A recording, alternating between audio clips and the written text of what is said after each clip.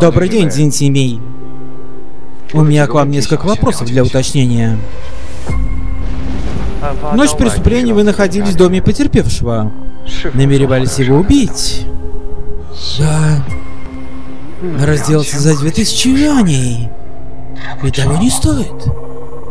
Хватит с меня. При аресте у вас обнаружили травмы. Верхняя одежда разорвана. То есть он порвал на вас одежду? Пытаясь изнасиловать? А?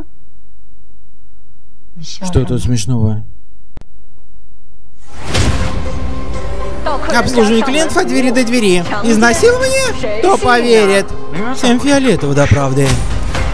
Как бы там ни было с ней той ночью, вот результат содеянного.